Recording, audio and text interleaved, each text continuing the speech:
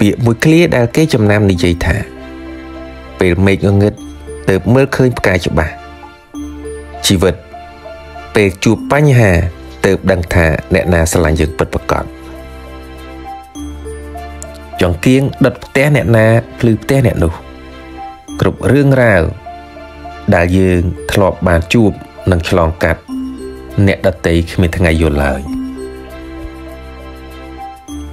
ហៅប៉ៅទទេបង្រៀនឲ្យយើង ចេះធ្វើរឿងរ៉ាវដោយការតស៊ូនិងអត់ធ្មត់ជាច្រើននៅក្នុងឆាកជីវិតរស់នៅនៅពេលដែលមេឃចុះត្រជាក់ខ្លាំងហើយអ្នកដែលគ្មានខោអាវក្រាស់ក្រាស់មកក្របដណ្ដប់ខ្លួនប្រាន និងជំរកដ៏កក់ក្ដៅពិតជាវេទនាខ្លាំងណាស់ហើយអ្នកដែលមិនធ្លាប់បានជួប ពិតជាគ្មានយល់អារម្មណ៍មួយនេះឡើយកុំចាំបាច់អីត្រូវផ្គប់ចិត្តអ្នកដតីខ្លាំងពេក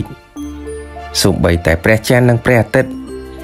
ក៏មិនអាចផ្គប់ចិត្តមនុស្សសត្វបានទាំងអស់ដែរអ្នកខ្លះចូលចិត្តខែខ្នើត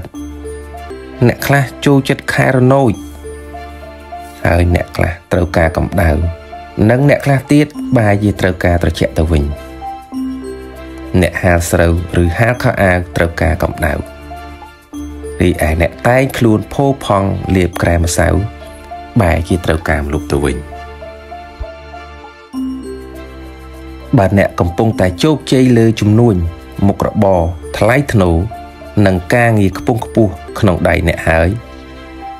សូមអ្នកកុំពេបជ្រាយឬវាតម្លៃទៀបមកលើអ្នកដតី ដែលខំប្រឹងប្រែងដោយលំបាកលើការងាររបស់ខ្លួន